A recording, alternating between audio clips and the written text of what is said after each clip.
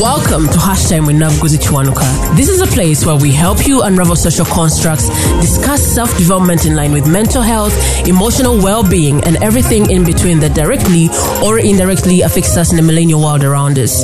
If you're hearing my voice for the first time and are the kind of person who is not scared of being a better version of yourself, even if it requires you to contradict who you were 24 hours ago, consider this your virtual home. I'm your host, Nabuguzi Kiwanuka, and I cannot wait to engage with you in the various conversations. This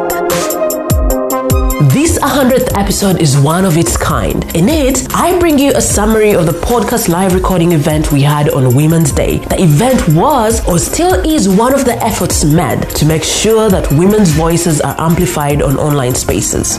If it wasn't for MCI Radio, you wouldn't have an idea of what transpired that day. So, thanks to the team's effort, that this comes to you as the 100th episode. Let's dive into it.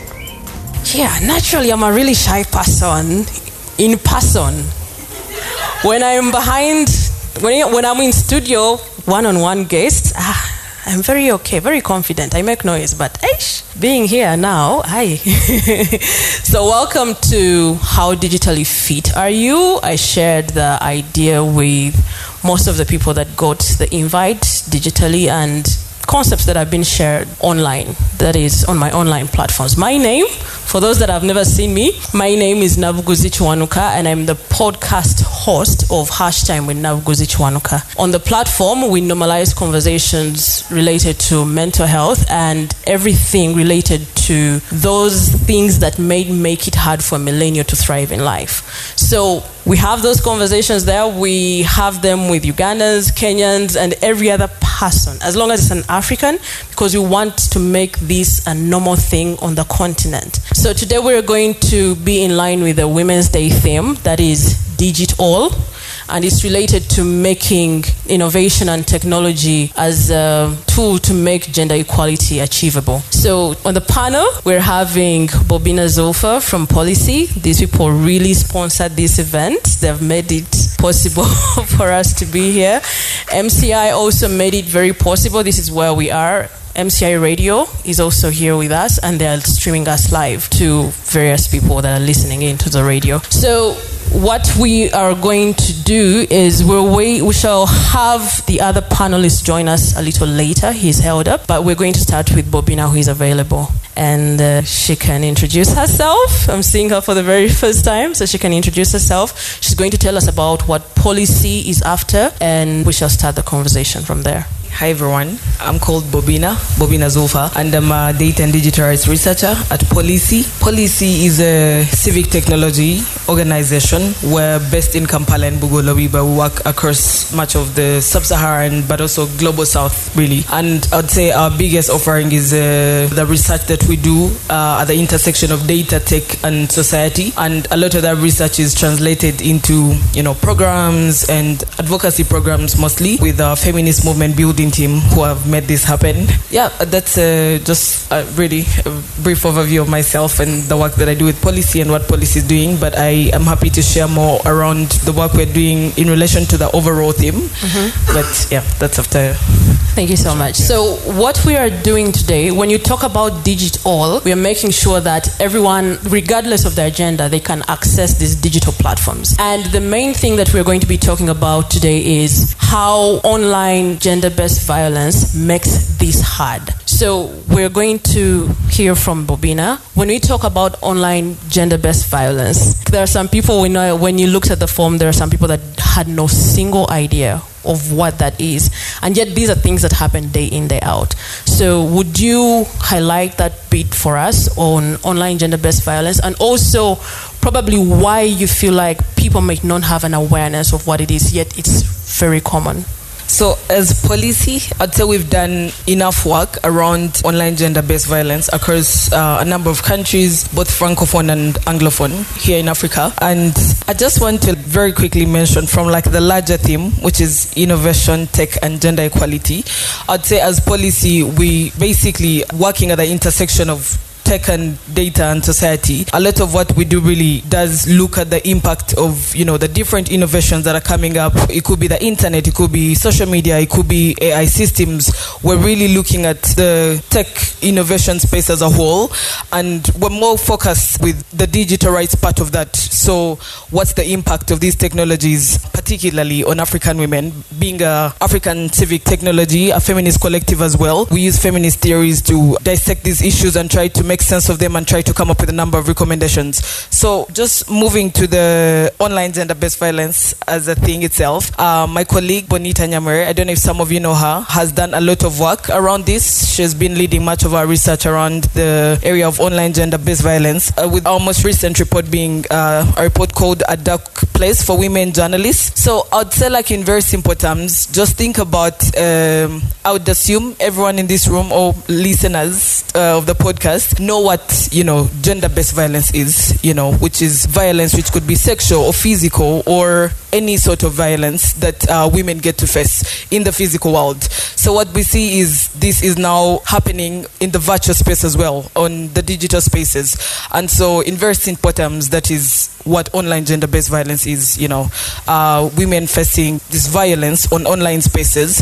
And I don't know if you want me to just go a little past that. I just wanted to quickly point out that this violence takes the form of it could be misogynistic hate speech, it could be sexist comments, body shaming, you know, and this extends sometimes as we see from even the online spaces to the offline spaces where you know some people's families and friends you know end up getting attacked from comments that they were initially receiving from online and they're tr- translated to the physical spaces as well of their lives. So i'd say like that's sort of an overview of what online gender-based violence is. And I'd, I'd say in africa here from the research that we've done the people that are facing this the most are women journalists women human rights defenders and politicians. Compared to you know other groups of people, but those are people that are really getting you know the the worst of it in online spaces.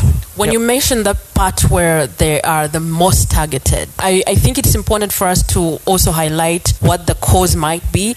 Is it because they are easily accessed, or are they putting themselves so much out there as opposed to someone who might really be at the back end? You know, someone who is just like, I, I would say, a visitor online. They're very occasional. Um, definitely. But I think, again, like I said, uh, using the feminist theories, one of the things that we found is generally from what was happening in the physical world or what continues to happen today is women predominantly have been told to live in the private spaces and men live in the public space. It's, it's their world, really. So as a woman coming into a public space, it's already cause for, you know, expect whatever is coming your way just because you're a woman and you're breaking out of a space that society has built for you and that has to do with the patriarchal system that we live in today because it's you know it's been constructed that way. So i would say that's one of the reasons that we see that happening on online spaces as well because the online space has something that started out as something that was meant to be a democratic space a space for everyone to you know come and freely express themselves. And now we see what was happening on the offline world being translated into the virtual world as well where now again uh, the virtual is a male space and women coming into the space is like how dare you you're breaking the norm. So it has to do with the culture norms our perceptions of these spaces you know that we occupy as men and women very much so. But there is of course a number of other reasons you know. It's why you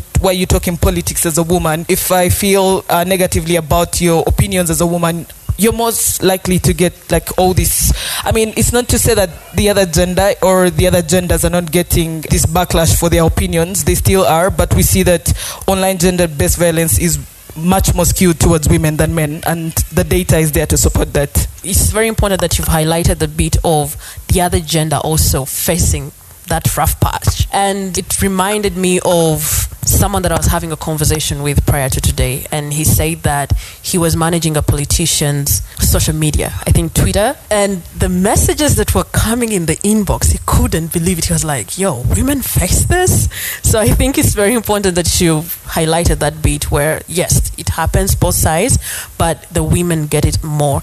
So can we hear from Mr. Abaas? You missed out on the introduction, so it's important for the people to know that you're one of the panelists. I am. um, uh, hello, everyone. How are you doing? Welcome. My name is Abaas Mpindi. I work here at MCI. I am the CEO It's a pleasure to be here. Yeah. Thanks for hosting me. Sure.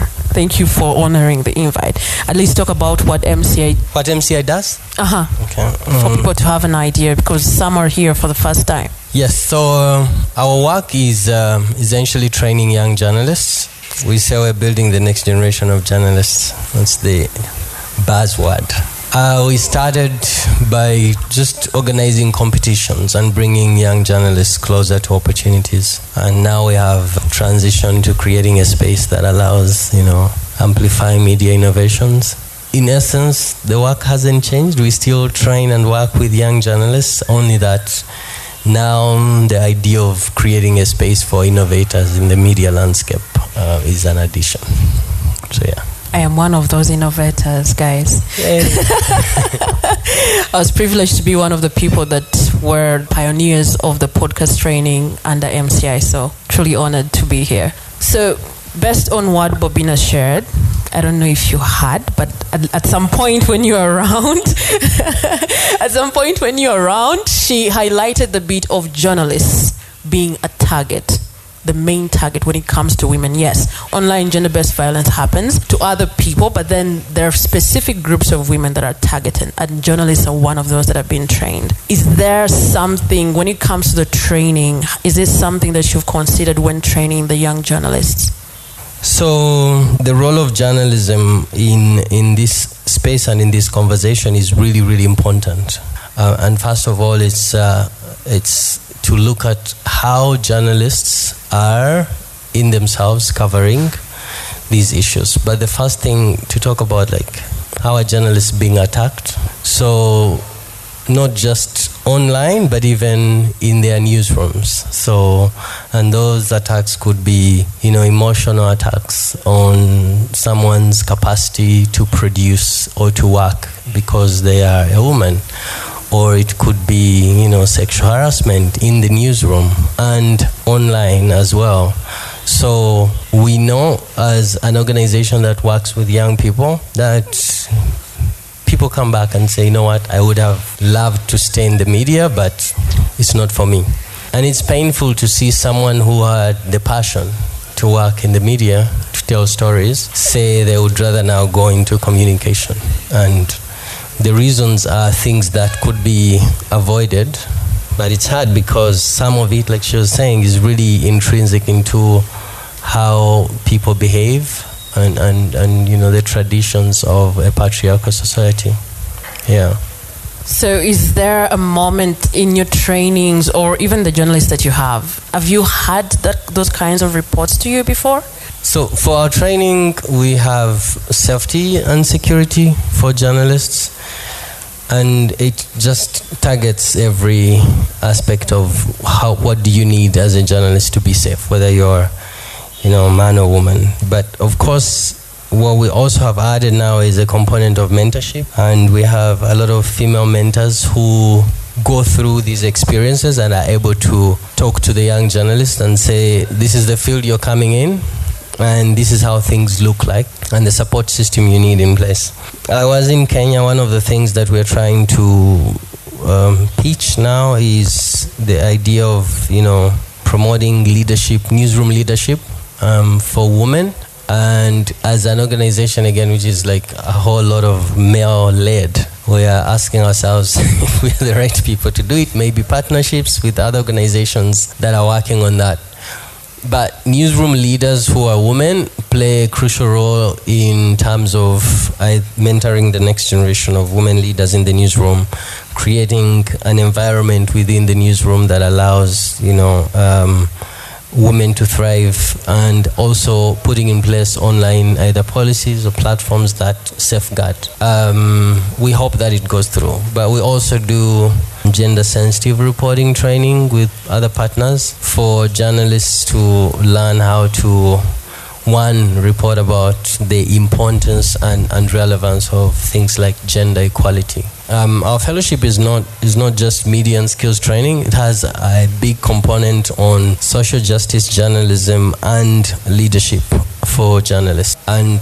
that includes you know roundtable conversations between male and female fellows about the stereotypes. So we have a an exercise where you talk about the stereotypes you hear, and we are able to really debunk them and see most of the young, even young men in the fellowship, by the time they leave the fellowship, their mindset and their thinking, which was previously probably very traditional, begins to be challenged. And then also for the space, the young women are also to be able to, you know, speak up and say, oh, all along that's what you were doing, yeah?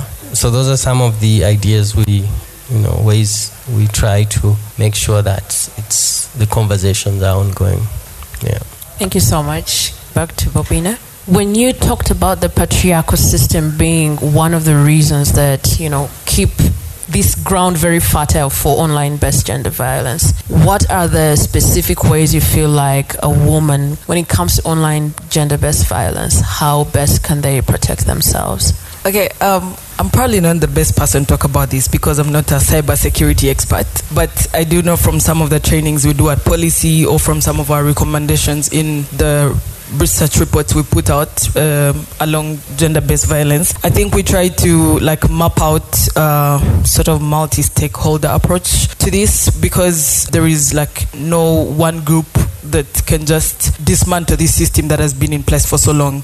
So there is different roles to be played by different people or stakeholders. So of course, as a as an individual, say being a woman journalist, it serves you to have the capacity to be able to protect yourself online. So that comes with the digital security training. I mean, he mentioned how they're doing some of that. I know a lot of newsrooms right now are doing. I know with the Future of Work project, with the a lot of people we've been partnering with, that's been a big element. Uh, cyber security training where they're told about all these, you know, uh, the passwords, this and that, you know, block and all these, you know, like I said, I'm the expert, but there is like a whole range of, you know, the cyber security how to you know protect yourself as a person online. But there is also a role to play um, again like he mentioned like even within the newsrooms so as the news editors or as the news house is there a sort of policy brief in-house policy brief that uh, addresses these issues where you know it's something that's known to the journalists so it's something they look out to?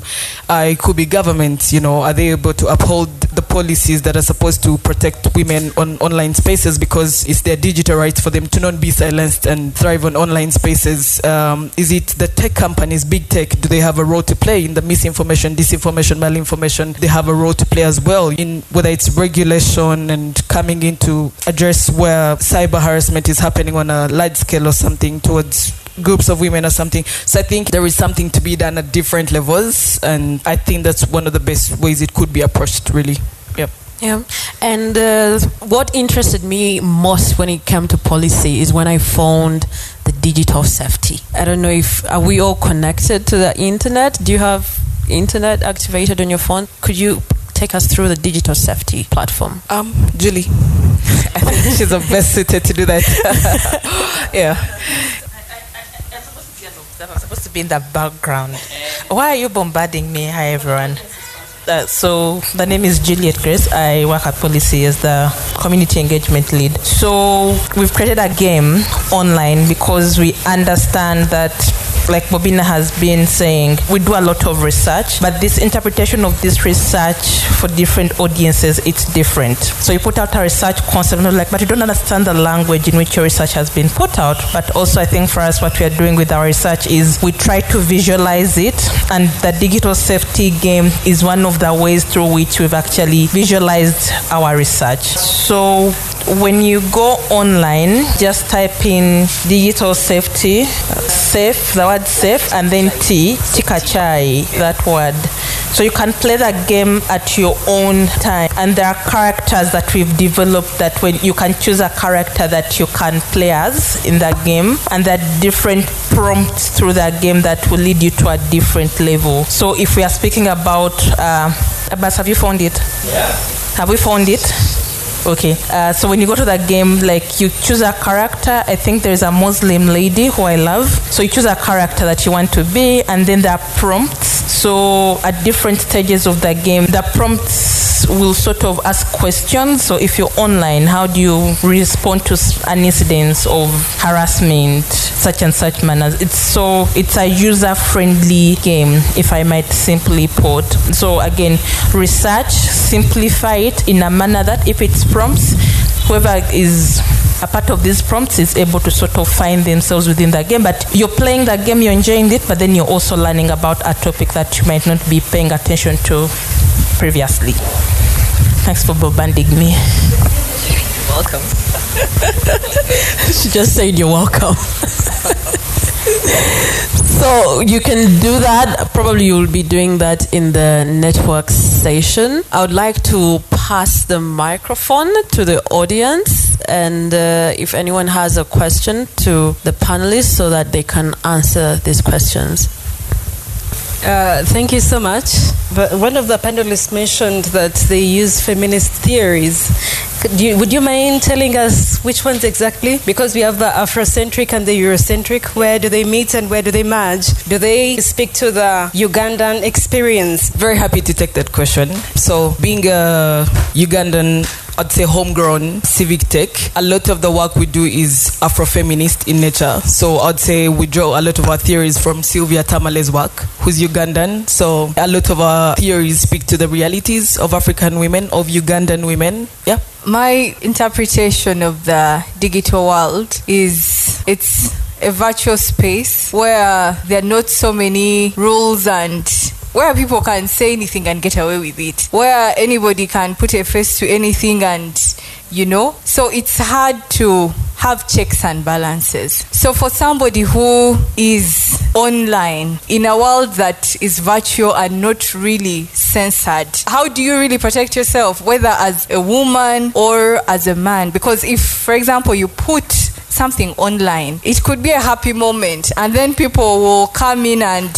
it ends up affecting your mental health. One comment like this can really almost lead you to suicide sometimes. So, how best do you think you can really guard yourself given the nature of the online world? I'll, I'll, I'll, just say something very small and pass it over to because I'm sure he has more to say about this. But I'd say, like, I do get the feeling of, you know, from your description, you know, the internet or this uh, virtual space feels like some wild, wild west with no rules and whatnot. But in essence, I'd, I'd say from like maybe the beginning of a lot of, say, social media at the time, there's been very limited regulation. But I personally believe greatest change can come from system changes. If the overall system changes from what it is right now. So it's the different people that I talked about that have a different role to play to alter this system. And this is something that is, you know, it, I, I feel like in many ways we're sort of playing catch up, for example, with regulation of technologies, tech policy. Tech policy is very slow. You're seeing with a lot of emerging technologies, we're just playing catch up. But I don't know. I don't personally like the response of be a more resilient person, but unfortunately uh, it's like if, so for example with the program that we've been doing with a number of i think women leaders mps and whatnot uh, i think one of the things is that came from the amplified report abuse we did on politicians uh, around the election in 20 21 was these people are being you know abused and a lot of them went silent. They got off these social media platforms. But then it's like well it works against you to be offline because as a woman politician you might as well be on this space because it serves you to put yourself out people to get to know your ethos what what I, what what is it you're trying to do for them. So it's a disservice to be silenced. So it's like maybe sometimes it's like, well, try and be resilient. But I, I personally don't like that response. That's why I personally would like the, it seems like a slower process, but system changes, I, I believe, uh, would be the most efficient in just addressing this entire system that's sort of a mess right now. Yeah.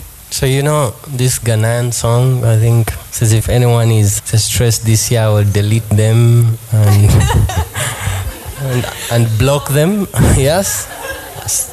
So me, I go for that radical part of like block, delete. But the these, I think there are different levels. There are people who are big tech that are doing the work, and I think Pollicy is also doing the work of training people and exposing them to different tools to protect themselves. Um, digital safety, like that one. Please uh, access it and use it uh, so that you can know like how do you create all these you know passwords and, and things like that. I set a limit for myself in terms of, uh, for example, from a news consumption. If I start from there, I know what, like during the COVID lockdown or 19, that was just a lot for people taking, and we are saying please have a li- news consumption limit, right? So that if you watch TV for a specific period of time and know, like, you know what, I've just been seeing dead bodies and now, like you know numbers of people, um, and it's affecting you.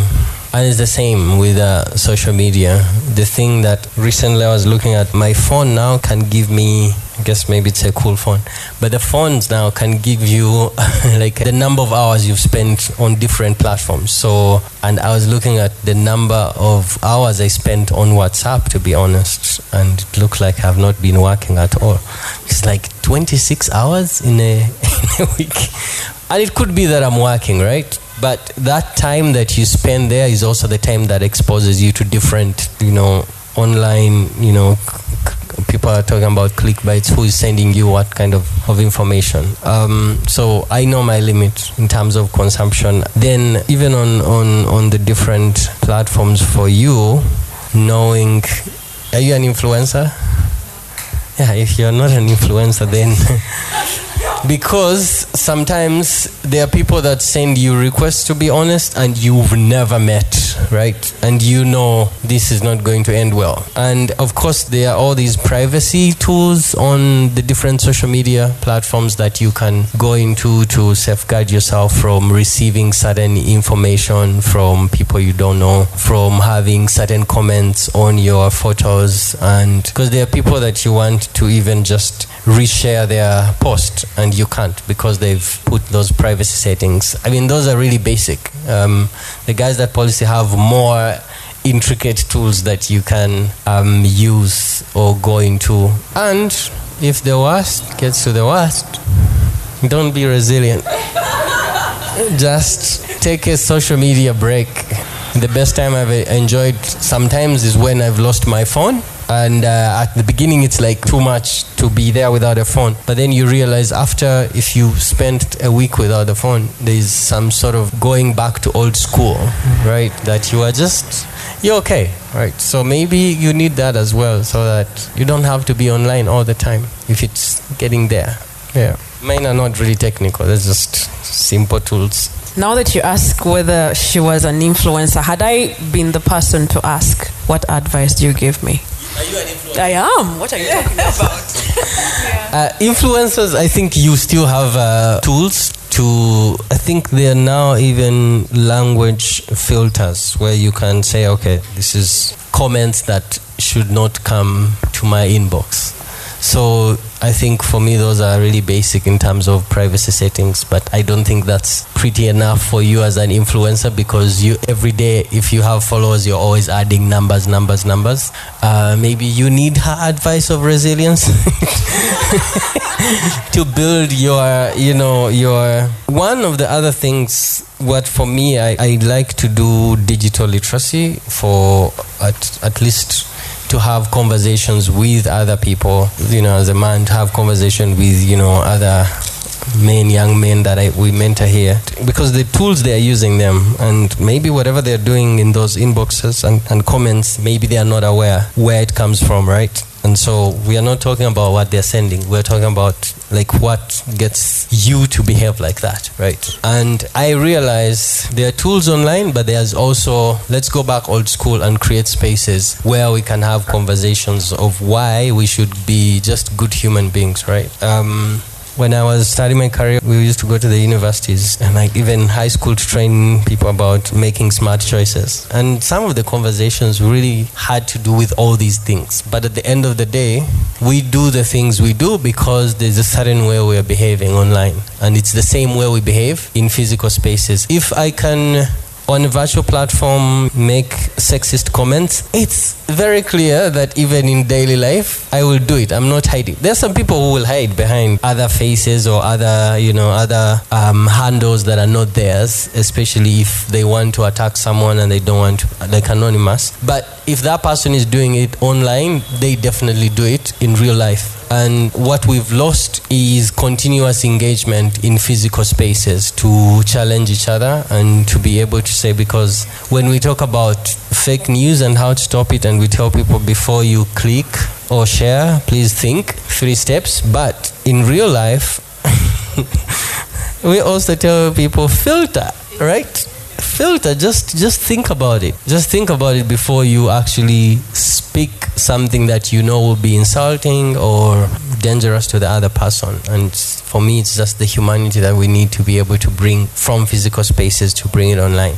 So it can be Pollicy work, just it can't be MCI work, even organizations that are working on daily working with young men and young women. These conversations need to happen because there is nothing that is virtual that is not happening in the physical spaces. If a woman puts, you know, they are at the swimming pool and they maybe post a picture when they are swimming or at the beach. If I can comment sexist comment there, it means if I was at Gaba Beach, I would do the same, right? It hasn't changed really. I didn't give you the influencer response. Be resilient. As an influencer, I think you need more. I think influencers need really more digital safety and security training, and you should invest more money into not getting the basic toolkits that we get, but real hardcore trainings because that's where you are earning money.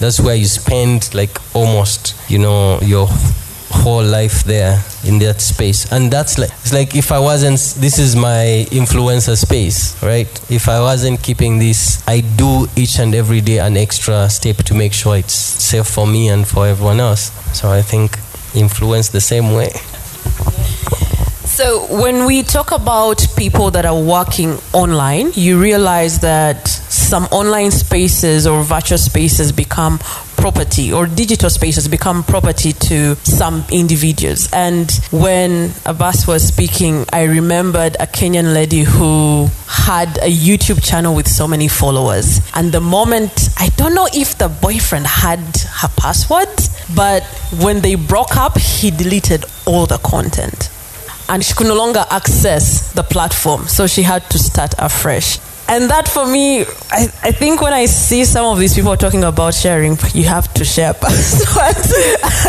and things like that. And I remember I had to think about the podcast that I have, and I was like, hey, no one is supposed to have anything related to my work or even my platforms because now my social media may not just be for fun or anything, there is more to it that happens. So, to add on to what they have mentioned, personally, what I do is just keep in check of, I, I might not have control of the people coming to my space. Because sometimes come through some people come through the podcast or someone has shared something about you. But it's also important to check the people that send you friend requests. Sometimes i don't have time. It takes a lot of energy to study every other person's account. Now when someone sends me a friend request they don't have a profile picture or they don't have a real identity. They they have locked their profile. And what do you mean? I don't know you. You've locked your account. How am i supposed to assess you we need to start assessing people before allowing them into the spaces. Because if you're talking about even like he's mentioned huh? even names. You've I, I, there's some people in my that i wanted to even highlight on my friend list. Like you guys are so lucky to be in my space because you don't have real names.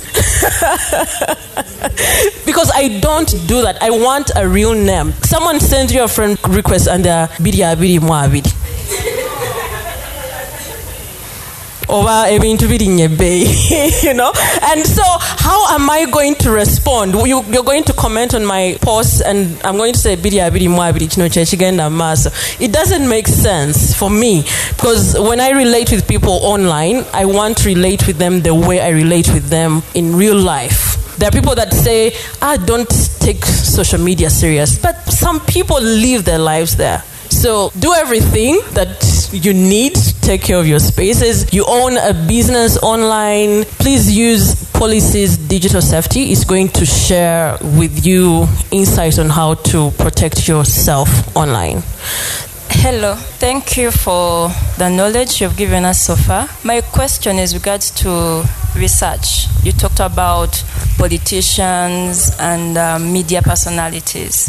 However, with the way that technology has impacted the society, and uh, you have kids and school going children with on social media in your research do you do such research when it comes to schools and the impact of online gender based violence in schools and what has been your finding in regards to that Um, that's a very interesting question. So we do not have something published yet on that, but we've done work on minors. We have a report in the works called Gen Z, where we look at the internet usage patterns of the so-called digital natives, the young people born in the digital era. So from the research we have so far, yes, they do experience a lot of online gender-based violence. A lot of them have you know talked about the same things that have been happening the the negative comments the sexist comments and whatnot. So we haven't because we don't have the work ready to get out to the public uh, i can't quantify it for you and tell you it's a bigger problem than say for example for human rights defenders or for journalists but it's an equally bigger problem for that especially being people who are constantly on online spaces even way more than the older people especially here across the continent. From the at least data we have it is a problem the minors are complaining about it as well. Uh, maybe to just add on that, we have a program here called Media Literacy for Kids, um, and Tracy and other people here are trainers. And the, the rationale was to train kids between I think five, five, seven, and then ten to twelve or ten to fourteen.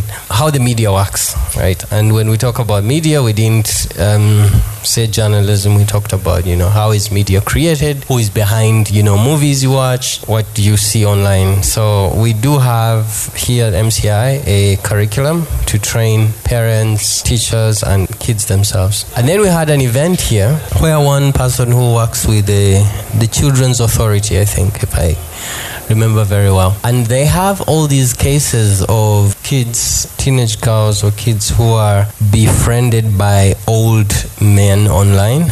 So there's this one case. This person pretended to be a young and it's like age mate and they were chatting for a very long time and so this girl maybe thinks oh this is a cool person and then they invite this guy to the home this guy abducts this kid but it all started on Facebook. So there was a whole how people are using online platforms, especially to you know kidnap children. And as you know for sure, a lot of our siblings, young, they're already on Facebook, right? They have access to these platforms. So there is also need, and I'm glad you guys are doing this. There's need to equip that generation as well with uh, that awareness, right? Because people just reach out and make all these promises, and they turn out to be an old person, an old man trying to. And it's a, it's. I didn't want to finish the story, but it's a, it has a nasty ending. And after that story, everyone was like, "Well, things are really bad." Again, like I said, the same people that would do that in real life would do the same online. So You know, when you mentioned the part of the children being kidnapped, even adults, you need to take precautions when dealing with people, especially people that you don't know. People see you online and instantly they feel like they own you. DMs are dangerous, man. There's a person who texted me towards midnight, and I was like, oh, the audacity, yeah? And then so I opened the message and ignored it, like just show him, yeah, I've seen the message, but I'm not responding. Then early in the morning, he sent another message. He was like, come on, don't be mean. I'm just a fan. Let me give you time. Maybe you're busy. I archived the chat and silenced it. I'm not going to be notified when he texts.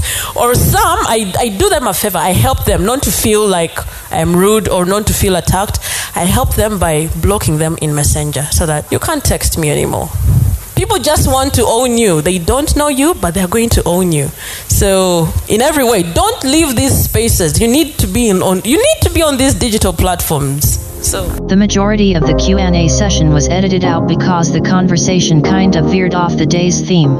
What you need to understand is that you all human beings you have biases. And as we have our biases those biases can cripple into our stories especially if we are writers we are communicators. So you can tell certain biases in what story you're reading. So you're saying some stories are subjective right? There's a reason why you're saying that because you've sensed a certain tone you've sensed a certain maybe uh, bias right and it's not just on covering that line of stories it's just across so you can tell uh, you can tell who has gender bias if that person has a bias on women and the stories they tell. So journalists are trained to make sure that you know if you're covering now there's a big emphasis on making sure that you have you know women experts in your story because in most of the stories you read or see the experts are always men. So so yeah? He's and when it comes to the victim so it's and it's just the it's very natural for a, a, a, male journalist or even a female journalist to be at a source as a space where there is maybe you know you can get a voice of the expert and also the the voice of someone in the community. So there is always high chances that you will find eh, "Ewana, twetagayo a oh, voice of someone who has struggled you go for the woman.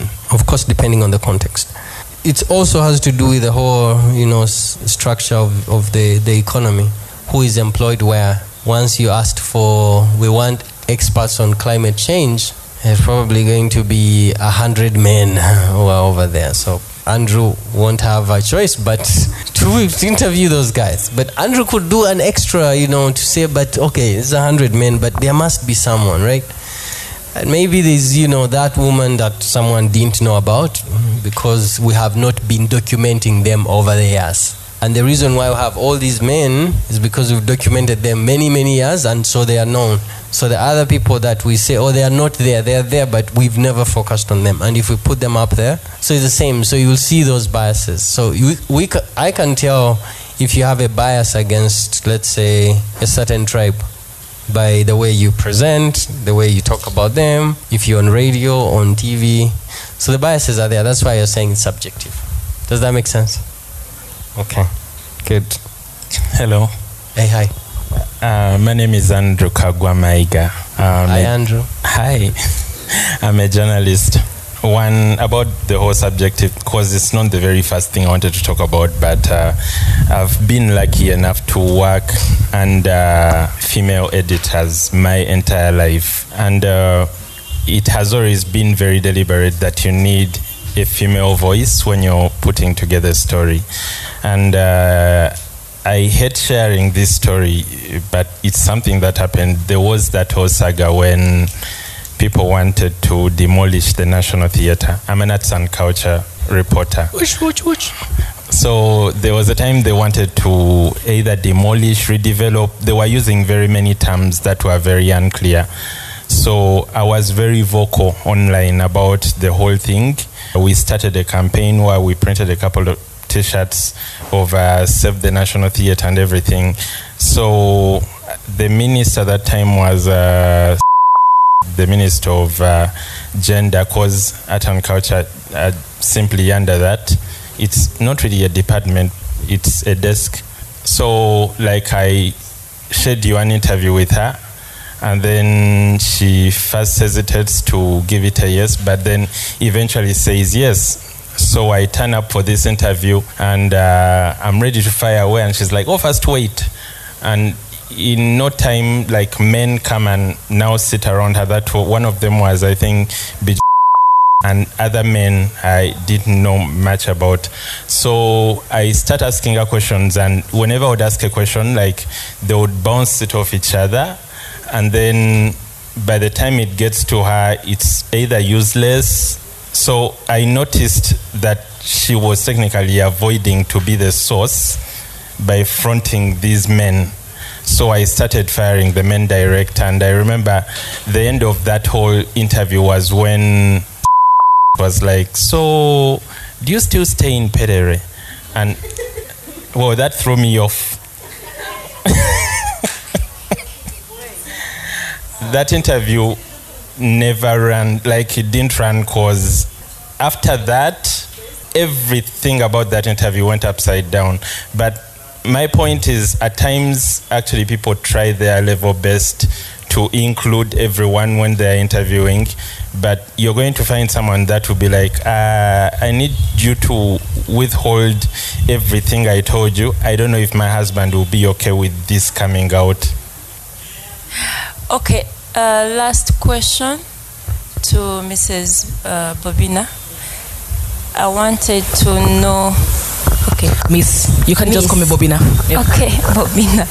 I want to know there is an issue arising when it comes to property, especially in marriages, and uh, such things escalate into onto online social media. And um, in your, have you done research in line with that? How property is affecting online gender-based violence, in a way. Um, no, it's not something I can speak to. I we have done work on online gender-based violence as a whole. So there is a number of things that come up as core themes. So, for example, gender is one of the things that starts um, a lot of online gender-based violence. The conversation around gender itself, politics, etc. But I, well, that's interesting. I didn't know about. I mean, I I see that on online spaces, but I didn't know it was uh, or like to what an ex- to what extent it's a problem. So I can't I can't really speak to that I, I, until we focus a lot on the data uh, element of how that's impacting societies. But yeah, I Uh, Good afternoon to you all. I've said that they have a program which can help the young ones with the media. But then when I look at it, there are some of us who have just dived in because it wasn't our thing. We have just entered into your era. Then there are some others who are in your age, but they are in between there. You can find somebody who doesn't even know how to write, but she has a digital and she doesn't know how to manage it. And whatever she shares, it's not easy for her or him to filter. Then, when you come to organizations, many of us are using digital, either in our kind of work, either looking for jobs. I'm not from the journalist side, but then there are things you look at and you see that this is a person I think who really doesn't know much about the digital. So I'm wondering with the Pollicy, is there in any way how you can help certain organizations if they happen to contact you? Because me, I'm working with a research organization, but yeah, we seem to be elite, but when you go into digital, you find like we are half baked. So I don't know how we can be helped. Then too, as mothers or grandmothers, many of us may be having those young ones. How can we approach you so that those young ones are helped? As the lawyer said, many of them have been victimized. TikTok is the way. Once you see a WhatsApp, just know TikTok is on the way. It's already there. It's already there. Facebook is already there. It's not easy these days for a child or an adolescent of these days to talk about any program on the TV because it's not their thing now. They would rather close themselves in the bedroom and they are on the phone throughout. So I'm just wondering how can the children and the can I call them innocent adults or green adults be helped? Thank you very much. Okay, so for I'll start with green adults. Uh, so we have a we have a media training program for NGOs, and uh, the the capacity building around it is how to communicate and tell your story better. So we will bring your team, take it to our studios, and um, ask you to tell your story about your work and your organization. And we'll have your team listening and watch you. And then when we're done recording, we'll play it for you. The thing is to understand how to communicate and tell your story so that the people understand it better. But for that audience also there is, you know, we have a digital skills training, especially based on the needs of the organization. So if you say social media tools and how to use it for your work. So that can be done at institutional level. So we do those trainings. Um, I don't know if there is anyone who has the power right now to fight TikTok, to be honest. It's scary because uh, it's just even the sound of TikTok is just it's meant for kids. It's just like TikTok, we're done.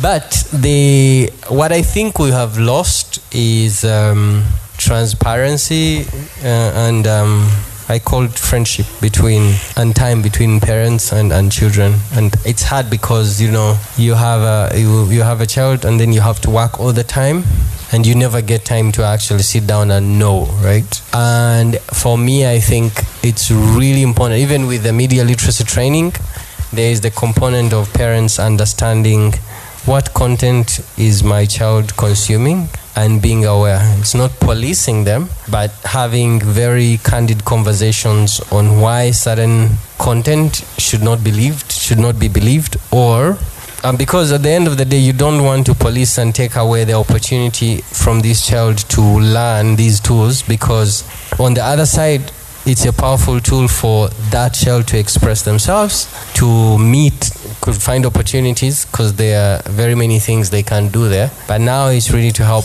you know, children understand how, like how we do media literacy, the digital literacy for kids. I think UNICEF might have. I need to double check is to help kids understand these tools better and how to use them for their own good. But the conversation has to be there. So if we're not talking to the to our kids definitely we'll never know what content they're consuming. And if it's bad content it could be pornographic content they will never tell you right? So it will just be always at the back with friends. So the first part is you know let's really create an environment where you are able to understand what content is being consumed in the house so that you can also find a way of, of supporting them. And then with the media literacy, if Nabuguzi, for example, has the opportunity to prepare. We have we've had the reason for why it has not worked very successfully. It's really financial, but we've had to, for example, curate programs, holiday programs, where kids come in and get training. Um, but it has not been very effective. What we want to be able to do is to work with even parents to say, how can we make sure these trainings are happening? We have the space, can come, the trainers are here. But at the grassroots level, I think for me, it's going to be hard to regulate these unless we talk to, which is not the best way to go, regulators around, you know, at that level. However, I think DSTV does a good job, which we can pick lessons from DSTV in terms of like parental guidance. I'm not a parent, so I don't have very good examples. but DSTV as a, as a platform has parental guidance where you can safeguard. So it could be, I don't know how that sort of like example could apply on the online platforms. Uh, if, if, is there Facebook for kids? Well, but there is YouTube for kids, for example. I don't know for TikTok. I'm not a good user with that. So YouTube, for example, has uh, you know you know you can set it up. I've seen even you know people who can afford Netflix now, but it's really hard. So the thing I think for me the best protection is this conversation because that's the first line of defense, so that there is trust that my child can confidently come without fear of reprisal. You know. They know like oh, the conversation is going to happen and it's really based on what content are we consuming is it good for you? So media literacy for example we help them understand the thought process behind creating movies.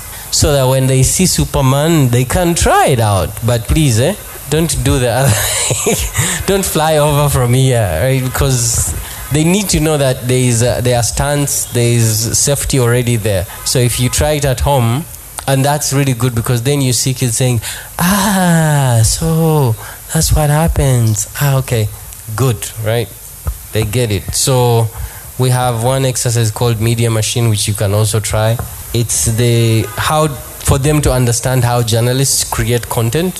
So we create a scene like an accident and some of the kids are policemen others are journalists others are news anchors and they run through the scene. So the accident happens the policeman calls the journalist the journalists run with their cameras they cover it they run to the editor's space the editor says oh yeah this is good.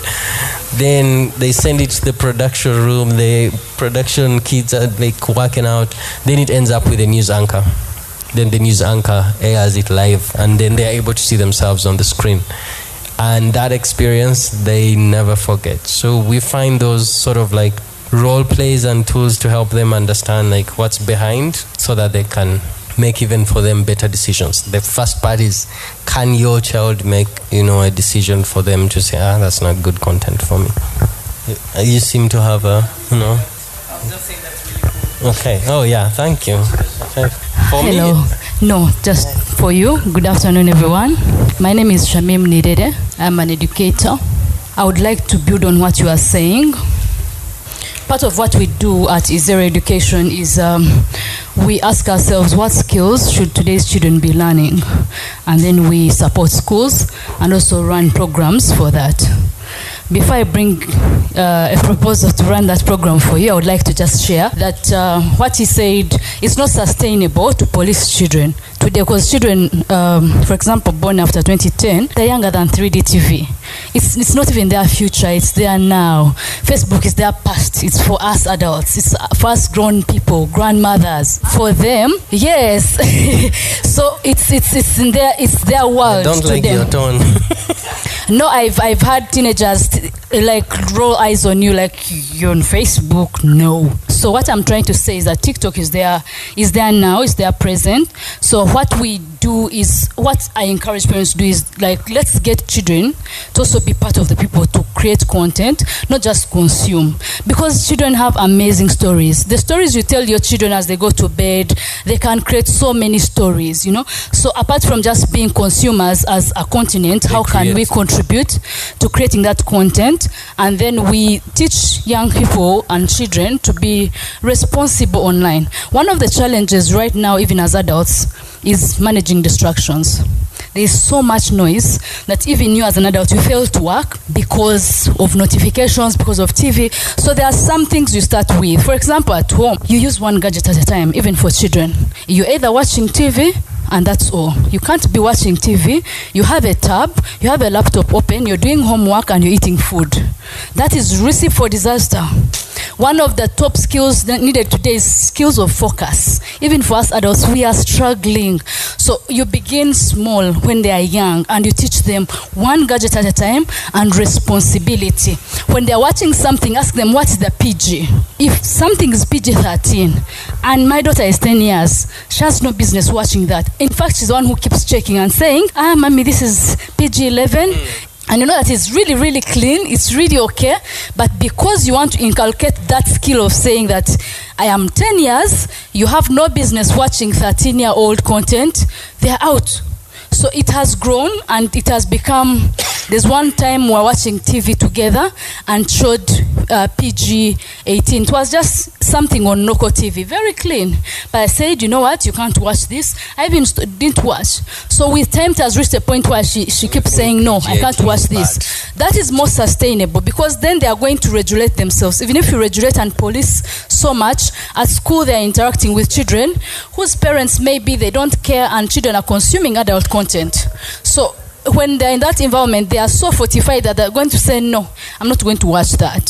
So it is important what you're doing, getting children to actually be me- media savvy and know how the things are done.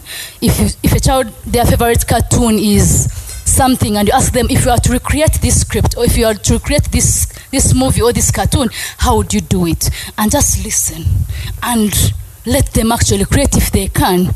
You are creating that skill. Because the truth is there are some influencers most of them teenage girls who are earning 3 million. We don't earn that in offices. So it is their future and they are going to earn so much money but it is it's just a double-edged sword that we can our young people can get so many disruptive jobs that wouldn't have been there. They're getting so much money or they can just consume and the algorithm set for africa. You know the content they give us just entertainment and nothing serious so it's it's we have so much power. And for spaces like yours you're doing a great job. Would like just to come and make that work happen. Don't struggle with parents. We have parents. We have communities. Let's run that for you. Hey! Thank you. Clap for her. Thank you. Eh, ah, you are you are, you are good. Thank you. Did that help? Yeah a little bit okay good good good, good. Um, the gentlemen seem to be quiet, but they are in the room. Um, any questions, observations? I am here. You're doing you're doing a good job, but I feel you need backup. We don't like your tone. Andrew. Did At least someone Andrew? wish us a, a happy Women's Day. Huh? Uh, hi everyone. I'm Mark Chris Kaizi. Um, on behalf of the organizers, we apologize for not wishing you a happy Women's Day in advance. so, are you saying? Um, the conversation is really great, and uh, I'm really happy that we are having this. And uh, I'm really happy that there is a sort of uh, intergenerational conversation that's going on, and that's something that's really important. Uh, so I'll go back to my role to all the women, to all the girls, to all the ladies in the poet. That's your. Uh, a- Hey. Let me wish you a very happy Women's Day. You are strong. You keep us going, and uh, don't stop pushing those boundaries. And let's keep going. Thank you very much. Tr- Tracy, do you want to know why um, men keep silent in conversations about gender? I would really love. Um, This is And- and- honest space, so let's go. Let's hear it. So, gender and sexual harassment, I mean, especially sexual harassment, men will always keep quiet. And I think it's it's the same with when we talk about racism and white people. You just, it's, it's uh, there's always that silence. And sometimes it's like, what do I say, right? Um, and I think there's been, that's why you've seen after, you know, decades of work around gender equality, now organizations like UN Women are beginning to say, you know what, we need now, you know, main, male inclusion in uh, these discussions because for some time, I think the men ran away for many, many reasons. But one of the things that I know for sure is that when we have had conversations where we're talking about gender, or you know gender and sexual uh, violence men are always silent. And even like the fault of us as people who invite you fault yourself you find that all your invited guests are women. Um, i don't know. I'm not saying you today but they, they are we just need to be aware. And i think for us who work in the media space it's um, when we create spaces and conversations like this, even how do we get men to feel like they have a role to play and a conversation to have, um, and not coming into the space from a, like a guilty, already feeling guilty. Um, and even I think on the other side, like panelists and moderators, sometimes we are not very kind to the men in the audience if they say something that we don't believe in, right? So we had one session here where one of the students said, I want to advocate for the boy child, right? and um, one of the panelists like just went ripped this kid apart. This kid is is at the university and of course you expect university. But the idea is yes we want uh, like if you're a feminist and maybe you don't agree with the, this thing where people say the boy child has been left behind but what's the best way to have this conversation without making the other person feel like you are useless and you shouldn't be talking and this is not your place to be and that i think sort of there are other reasons but one of the i was just wanting to share that i don't know sir do i represent us well or not Hello, my name is Herbert. Uh, I do agree with uh, your name means Abaas. Abaas. Herbert Abbas, you know, yeah, we're good.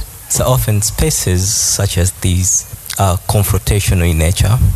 They tend to point fingers. They tend to find fault. So it's sometimes hard for us to come into. I had mixed thoughts about coming here, but then Because circumstances brought me here, right? Uh, but I think it's pleasant for me and for other people out there that we do have more of such conversations and spaces because they are learning curves for us. Yeah. Um, sometimes you find yourself um, engaged in a practice uh, that because you've not been told about it, you're continuously doing it without the background knowledge that it's probably affecting someone. For instance, body shaming, right? Our, our community is is big on uh, subconsciously body shaming women. Man or and- woman? man, but mostly mostly women. Yeah. yeah, uh, and um, when you come into spaces like this, it's an opportunity for you to listen to persons who have uh, been affected by gender-based violence on digital platforms. So for me, I think if we could have more of the same, we would appreciate it. I think it's largely an information gap that we need to cover.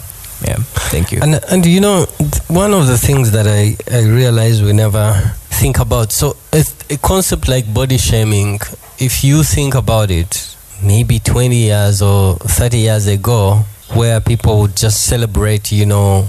There was no conversation about weight. Like you've gained weight, everyone would be like, "Yo, ah, African mama," and that's like you know. And even as a man, you know, you would just when people said, "What's your definition of beauty?" Right? Your brain and the way it was structured was always the carved.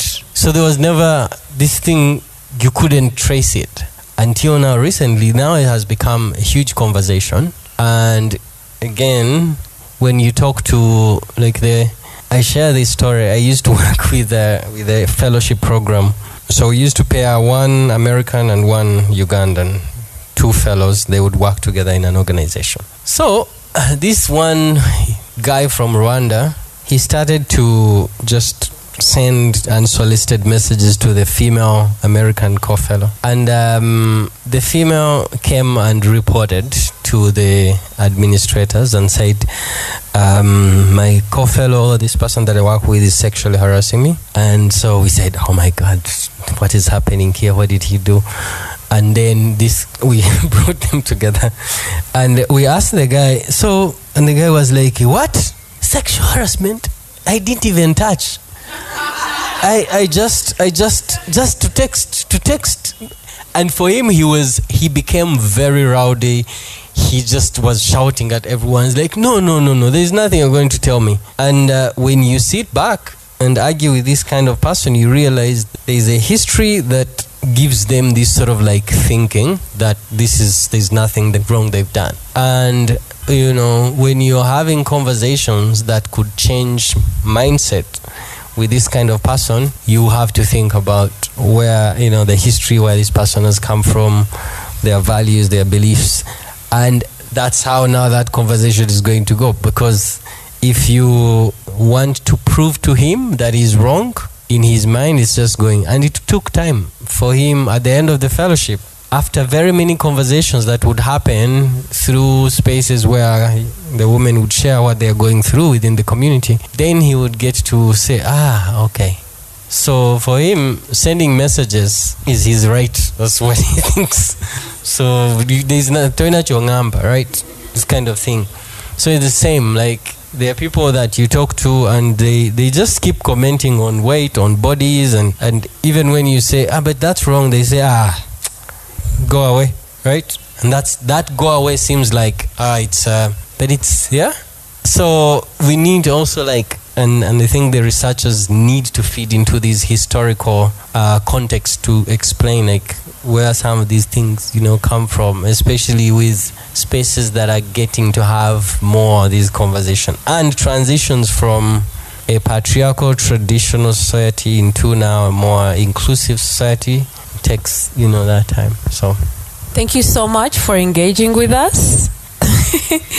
uh, Bobina wants to say her last words. She's run out of time, so let's give our audience, then we shall carry this on.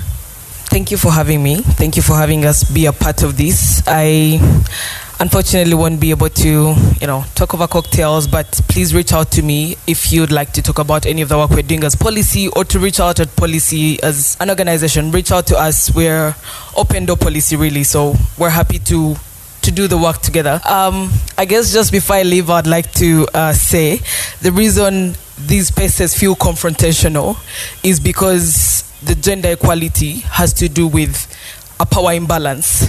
So the power has been tilted towards one end for so long. And so I would actually like to, personally, my final remarks to just say, for the conversations that we're having, like he pointed out, to be able to come in spaces like this and talk about things like gender, sh- uh, body shaming, etc. It's because of the work of feminists who have been, you know, talking about these issues for a while, and now they're becoming more mainstream, which is great. And uh, it's, I think, just really uh, amazing to know that this could be carried on, and you know, our societies could be more inclusive, and just people could live freely, you know, the way they would like to, without uh, all these stereotypes and just all, all these uh, the burdens that you know women have had to bear so long because of the way our society has been set up for so long. And so, happy Women's Day to all of you. Happy Women's Day to the women doing the great work. Um, happy Women's Day to the people that are doing the work to uh, make our world uh, a better place for everyone, for all humans. And yeah, it's really amazing to meet you all and great conversation. Great meeting you, Abaas. Great meeting you um, as well. I'm sorry, I have a problem pronouncing it. Nabuguzi. Um, it's yeah, I my bad, but no. Thank you very much for having me here, having us a Pollicy be a part of this. Thank you so much for being around.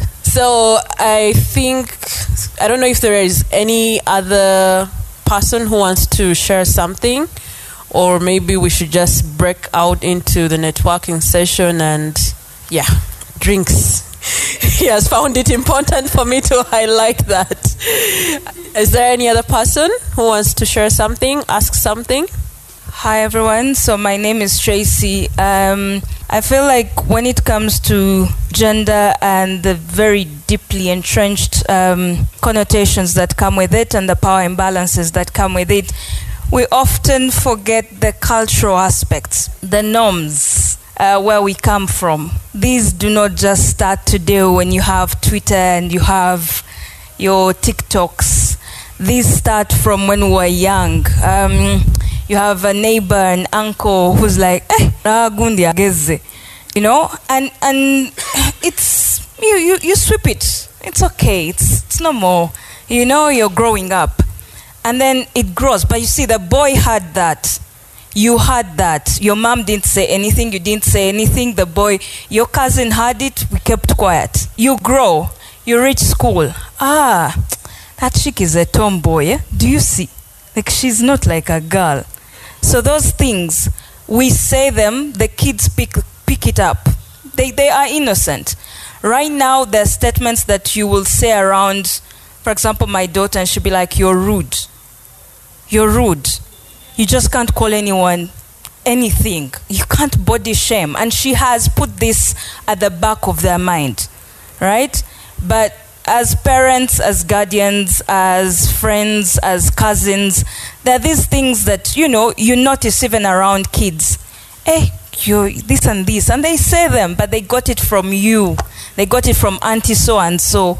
I think we need to shift, but shift from the grass roots. Uh, you know that saying of the, uh, I can't say it in my language, you won't even understand it, but um, a stick is bent when it's still. Yeah, that one. I don't know if I said it, you wouldn't understand. But you need to bend the stick while it's still young because once we are grown and we have our accounts, you really can't mess with me. That's what I want to say, and that's it. That's I'm, I'm gonna say it. But let's start um, now, and then probably the next generation will be a little bit more equitable and more sensitive. Thanks. Thank you so much. Thank you so much for being around. For I had the program lined out, and we were supposed to have a mental health professional on the panel, but unfortunately, she had to cancel at the last minute. So we agreed that we are going to do a recording. It's, it's not going to be live like this, but we shall have a recording. If you have any questions, I you can send them through of these conversations that we've had in terms of online gender-based violence, how best you can help yourself mentally to you know build the resilience that was shut down. But do share the questions. She's going to be able to answer them. It will come out after this session that we've had. Thank you so much. We are now ready to network. There is something to eat at the back and something to drink The event was hugely sponsored by the Media Challenge Initiative. In my deepest of fears and doubts, these people assured me that the event could happen.